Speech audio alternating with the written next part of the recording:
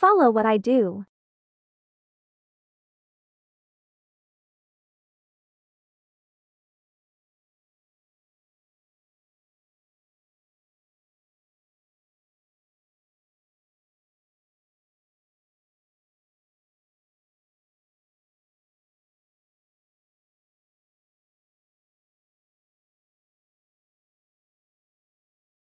Make sure you get the audio I have or if you're doing a different edit.